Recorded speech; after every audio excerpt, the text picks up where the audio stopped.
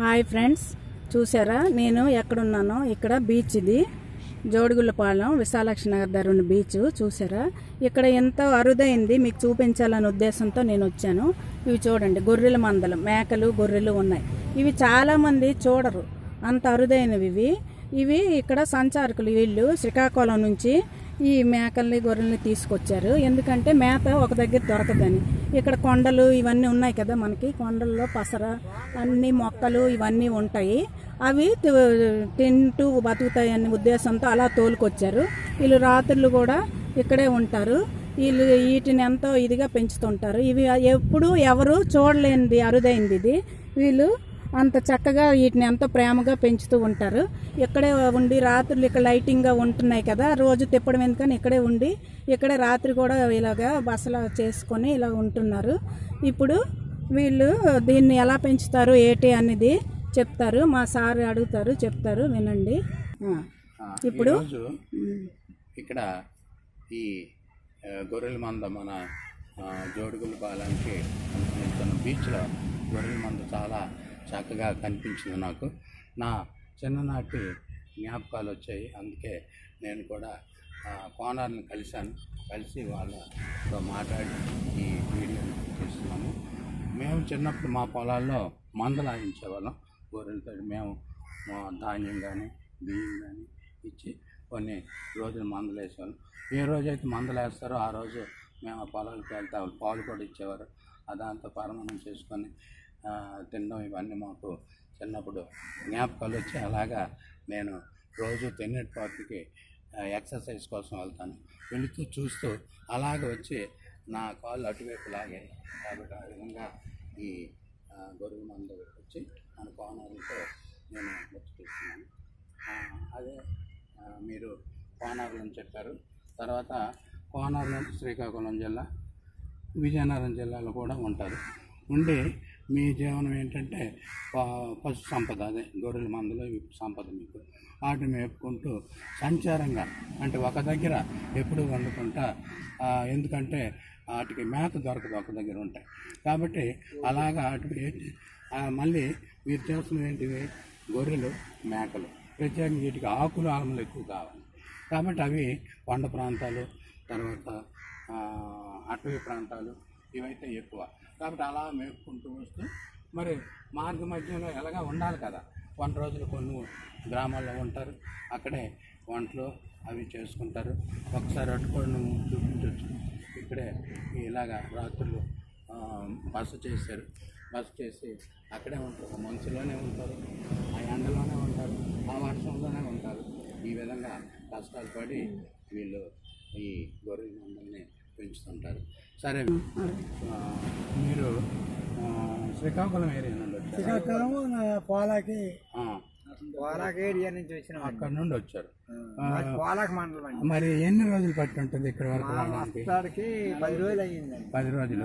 ఎలాగ వచ్చారు అక్కడక్కడ మన గొర్రెలు మేపుకుంటూ. మందులు ఆసుకొని ఆ మ- మందు ఉంటే మందాయిరు మందు లేకపోతే అక్కడక్కడ కుదిరేసుకొని తోలుకొని మేపుకొని రోజు కూలి మీద. అలా వెళ్ళిపోతాను వెళ్ళిపోతాను. అక్కడ పొలాల్లో మందలు అక్కడ? పొలాలు దమ్ములైపోతాను ఆహా. దమ్ములైపోగానే మాకు మేపు ఉండవు.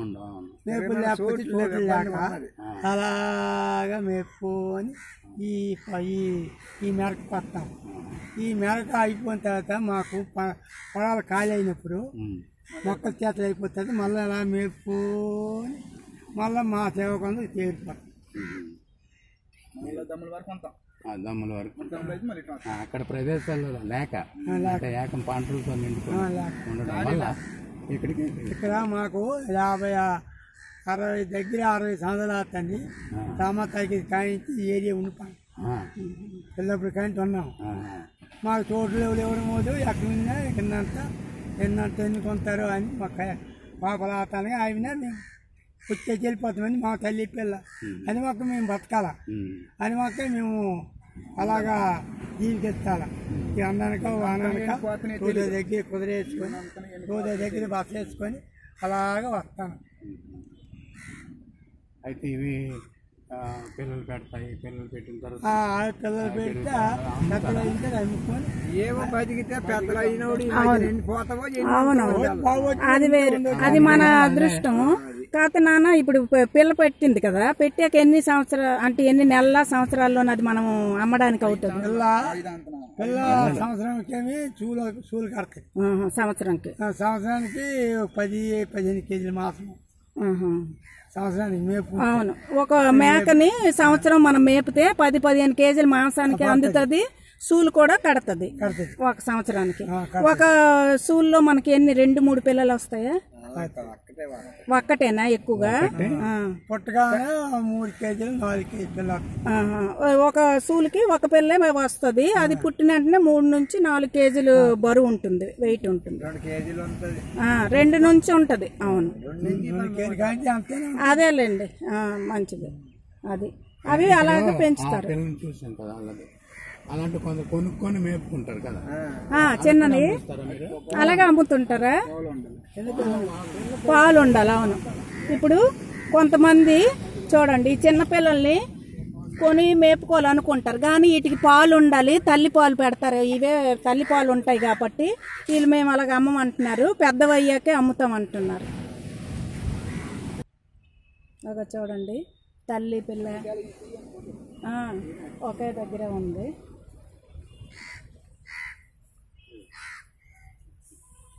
అది ఇది చిన్నది. ఎంత బుజ్జిగా ఉందో చూడండి. ముద్దుగా ఎంత బాగుంది. మా మనవరాలు ఉంటే ఇంకా చూసేది. క్యాంప్ వెళ్ళింది తను. అగో పాలు తాగుతుంది చూసారా? ఏ ఏ జంతువులోనైనా ఎక్కడైనా సరే తల్లి పిల్లల అనుబంధం చూడండి. ఎంత బాగుందో. పాలు తాగుతున్నట్టు.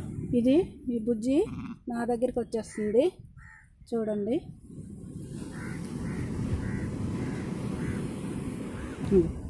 చూడండి ఎంత న్యాచురాలిటీగా ఉంది. ఇలాంటివన్నీ మనం చూడడం అరుదు కదా.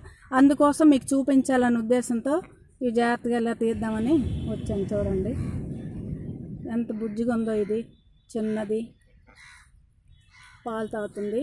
ఇవి కొంచెం పెద్దగా పెరిగే వరకు వీటికి ఆహారం పాలే కదా. ఆ తర్వాత గడ్డి ఇవన్నీ మేస్తాయి. పసర్లు అంత ఆకు జాతివే ఇవి తింటాయి. మేకలు గొర్రెలు శాకాహారి.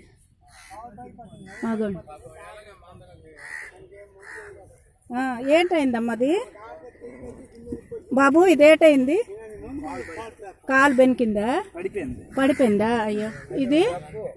ఇది కాలు చూసారా? మడత పడినట్టు ఇది ఒక రకమైన జబ్బులు వస్తుంటాయి. ఇవన్నీ ఇన్ని ఇబ్బందులు అన్ని పడి ఇవన్నీ జాగ్రత్త చేసి వీళ్ళు చాలా కష్టపడి వీటిని పెంచుతున్నారు.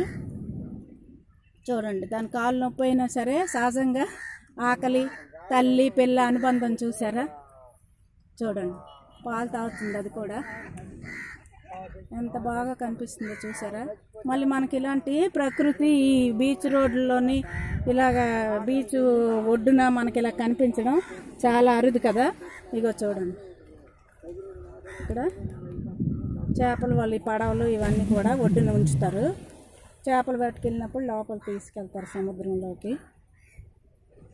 చూసారా ఇది వస్తుంది మన దగ్గరికి. ఇవి తెల్లగా నల్లగా ఉన్నాయి. చూడండి. కొన్నిటికి కొమ్ములు. ఆ, ఇదిగోండి. ఇక్కడ కూడా ఇవి దగ్గరికి వెళ్తే వెళ్ళిపోద్ది. పాలు తాగుతున్నాయి. తల్లి. పిల్ల చూడండి. అది గొర్రెలు అవి మగవి కూడా ఉన్నాయి. కొమ్ములు ఉన్నాయి. చూసారా? పెద్ద పెద్ద కొమ్ములు. ఇవి చూడండి. ఇవి చాలా పెద్దవి. చూసారా? ఎంత కొమ్ములు ఉన్నాయో? చూడండి. చాలా పెద్దవి ఇవి. కాకి వాలిని చూసారా? ఎంత బాగున్నాయో? ఇవన్నీ. ఇది అందరికీ చూడడం అవ్వదు కదా? ఇది అరుదు. మనం అందరం ఈ మేము మేమంటే ఇక్కడ దగ్గరలో ఉన్నాం కాబట్టి వచ్చాను చూశాను. మా పిల్లలకు కూడా ఇవి తెలియదు చిన్న పిల్లలకి మా మనవలకి వాళ్ళకి. అందరికీ చూపిద్దామనే ఉద్దేశంతో తీశాను. చూడండి. ఈ బుజ్జి ముండని చూడండి. ఎంత బుజ్జిగా ఉందో. చిన్నది ఇది. చాలా చిన్నది. చూసారా? ఇవి ఎంత చక్కగా ఈ ప్రకృతి అయిన సముద్రం ఒడ్డున ఆడుకొని మేసుకొని చాలా ఇదిగా ఉంటున్నాయి. అలలు వస్తున్నాయి చూడండి. ఇది. అటు సాగర్ నగర్ రూట్ అది. చూడండి ఇదంతా అది కైలాసగిరి కొండ. అది అటు సైడ్ ఉంది అది తెన్నెట్ పార్క్. ఈసారి ఒకసారి తెన్నెట్ పార్క్ తీసి మీకు చూపిస్తాను. తుఫాన్ వచ్చేటప్పుడు? తుఫాన్ వచ్చినప్పుడు ఆరు జీవులు చచ్చిపోతే ఆ రోజు వచ్చి ఎలకారులో మరి మా మండల ప్రెసిడెంట్ వీళ్ళందరూ వచ్చి మరి డాక్టర్ గారు వచ్చి ఇవన్నీ కూడా తీసినారు కానీ అటుకుంటే ఫలసాయం మాకేం రాలేదండి. ఏదో కొంత డబ్బులు ఇస్తామన్నారు కానీ ఏటి ఇవ్వలేదని చాలా బాధపడుతున్నారు. ఎంతో కష్టపడి పెంచినవి తుఫాన్ వలన చనిపోయాయంట. అది అందరూ తెలుసుకొని కొంచెం ఎవరైనా హెల్ప్ చేయాలని ఎంకరేజ్మెంట్గా ఉంటుంది వీళ్ళకి. అలాగే ఇది గొర్రెని కొందరు కాదు. ఒక్క కుక్కలు ఏమో సాయం చేస్తాయి ఇది కుక్క పిల్ల. ఇది వాళ్ళు సొంతంగా పెంచింది. ఇక్కడ గొర్రెలకి ఏవి వచ్చి తీసుకెళ్ళకుండా ఎవరు దొంగలు వచ్చినా ఏది వచ్చినా కాపాడినట్టుగా అది కుక్క మనకు తెలుసు కదా కుక్క విశ్వాస జీవి కదా. దానివల్ల అది వీళ్ళకి తోడుగా ఉంటుంది హెల్ప్ చేస్తుంది. రాత్రి పడుకున్నప్పుడైనా గొర్రెలను ఎవరైనా తీసుకెళ్ళినా లేకపోతే ఏ జంతువులైనా ఎత్తుకెళ్ళిపోయినా కూడా ఇది కాపాడుతూ ఉంటుంది. చూడండి ఇవి చాలా పెద్ద గొర్రెపోతులు ఉన్నాయి. ఇలాంటివి రెండు ఈ మధ్యనే ఎంత పెద్దగా ఉన్నాయో చూడండి. గొర్రె నిలబడుతుంది చూసారా? కొమ్ములు ఎంత పెద్దగా ఉందో. ఇలాంటి గొర్రెపోతులు రెండు ఇక్కడ వీళ్ళు నిద్రలో ఉండేటప్పుడు ఎవరో దొంగలాడారంట అది చాలా తప్పు. వీళ్ళు ఇంత కష్టపడి ఇంత జాగ్రత్తగా పెంచుతున్న వస్తువుని సొంత వస్తువుల్ని ఈ మేకల్ని గొర్రెల్ని ఇలా తీసుకొని వెళ్ళిపోవడం గొర్రెపోతులే పెద్దవి. ఇగోండి చూడండి ఎంత పెద్దది ఉందో ఇంత ఇంతవే పెద్దవి. తీసుకెళ్ళిపోయారంట. చాలా బాధపడుతున్నారు వాళ్ళు. ఎంతో కా రాత్రులు నిద్ర లేకుండా కూడా కాస్తుంటారు. కానీ ఒక్కొక్క రోజు అలా జరుగుతుందని బాధపడుతున్నారు. ఏటో ఏటుకోగల అనుకోండి మళ్ళీ ఇప్పుడు మీరే తెలుసుకున్న మాటల మీద. ఎందుకైనా మంచిది కాదని మరి మీకు అన్ని పోలీస్ రిపోర్ట్ కూడా ఇచ్చారంట. కానీ ఆ సీసీ కెమెరాల్లోని కొన్ని కెమెరాలు కనిపించట్లేదని అంటున్నారు. అదే వాళ్ళు బాధపడుతున్నారు. ఎవరి దగ్గర ఉన్నాయంటే పోలీసులు వచ్చి పట్టుకుంటాము అని అంటున్నారంట. అది మరి వీళ్ళకి తెలియదు కదా. మంచి నిద్రలు ఉండేటప్పుడు ఇలా తీసుకెళ్ళిపోయారని చాలా బాధపడుతున్నారు. పండమ్మ ఇప్పుడు పా పుట్టిన పిల్లకి వీళ్ళు నీళ్ళు పట్టరంట తల్లి పాలు ఆ ఆకులు ఈ మా ఏంటది? వేప కొమ్మలు.